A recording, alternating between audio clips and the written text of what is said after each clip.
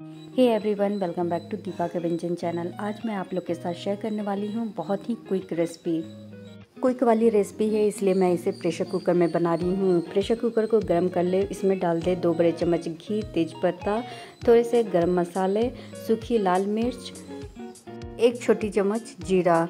अब इसमें डाल दे एक मीडियम साइज़ का प्याज काट कर। यदि आप प्याज प्रेफर नहीं करते हैं तो स्किप कर दे। बिना प्याज का भी ये काफ़ी अच्छा बनेगा।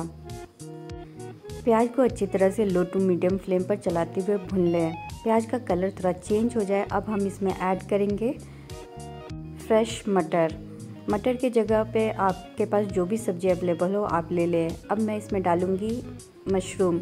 मशरूम को पहले मैंने साफ़ कर लिया है, गर्म पानी में धो लिया है। अब मशरूम डालने के बाद इन सब सब्जियों को अच्छी तरह से मिक्स करें और चलाते हुए थोड़ी देर भून लें। मैंने इसमें थोड़ा सा गाजर भी डाला है। इस रेसिपी में आप अपने पसंद की कोई भी सब्ज़ी ऐड कर सकते हैं। मशरूम मिलना स्टार्ट हो चुका है, बहुत फ्रेश मशरूम आने लगे हैं, इसलिए मैंने इसमें मशरूम डाला है। थोड़ी देर सब्जियों को भुनने के बाद अब मैं इसमें डालूँगी स्प्रिंग अनियन यदि आप स्प्रिंग अनियन डालना चाहते हैं तो डालें अदरवाइज़ स्किप कर दें। मिला दें सबको सब्जियों के साथ। सभी सब्जियों को मिलाते हुए लो टू मीडियम फ्लेम पर थोड़ी देर फ्राई कर लेंगे। सब्जियों को भूनने में हार्डली आपको 10 मिनट लगेंगे। जैसे जैसे सब्ज़ियाँ भूनती जाएँगी, इसका कलर चेंज होता जाएगा। तो इस प्रकार से आप देख सकते हैं इसका कलर चेंज हो चुका है। चावल अच्छी तरह से सब्ज़ियाँ भून चुकी है। तो अब हम इसमें कुछ मसाले डालेंगे। तो जैसे मैंने यहाँ पे दिया हल्दी पाउडर, काली मिर्च पाउडर, जीरा पाउडर और धनिया पाउडर। अब इसमें डाल दी दो से तीन बड़ी चम्मच अदरक, लहसुन और हरी मिर्च का पेस्ट मसालों को आप चाहे तो अदरक, लहसुन के साथ भी पीस सकते हैं। मिला दे सब मसालों को अच्छी तरह से, गैस का फ्लेम लो रखें। अब लो टू मीडियम फ्लेम पर मसालों को भी अच्छी तरह से चलाते हुए भून लेना है। अब मैं इसमें डालूँगी एक बड़ा चम्मच चिकन मसाला। यदि आपके पास चिकन मसाला हो तो डालें अदरवाइज़ स्किप कर दें। सभी मसालों को चलाते हुए थोड़ी देर भूनें। जैसे मसालों से तेल रिलीज़ होने लगे, अब मैं इसमें डाल दूँगी चावल। मैं यहाँ पर दो cup long grain basmati rice ले रही हूँ। आप कोई भी राइस यूज़ कर सकते हैं। रेगुलर राइस में भी आप इसे बना सकते हैं। चावल को मसालों के साथ अच्छी तरह से भून लें।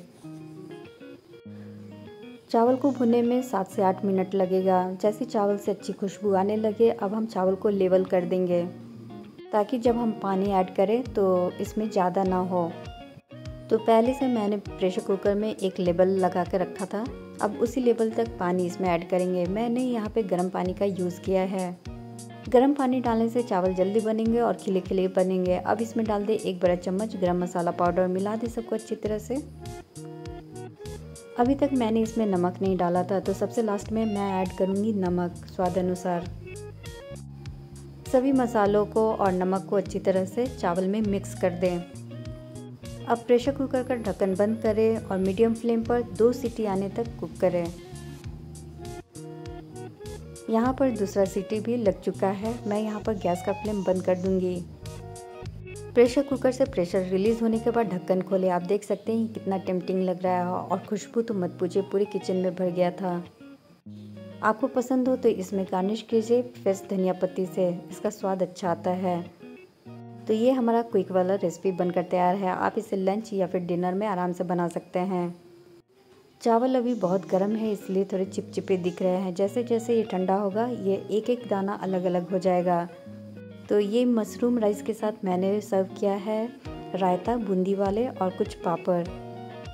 आप लोग को ये रेसिपी कैसी लगी प्लीज़ कमेंट बॉक्स में अपने व्यूज़ ज़रूर लिखें। साथ में बेल आइकन को भी प्रेस कीजिए ताकि मेरे नए वीडियोस के नोटिफिकेशन आप लोग को मिलता रहे। वीडियो पसंद आए तो लाइक शेयर सब्सक्राइब कीजिए। मेरे हस्बैंड ने तो लंच काफ़ी इंजॉय किया है।